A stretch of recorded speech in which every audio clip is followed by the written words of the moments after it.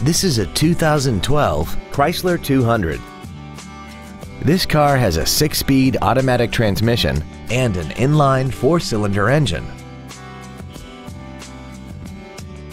Its top features include commercial-free satellite radio, traction control and stability control systems, aluminum wheels, and a tire pressure monitoring system.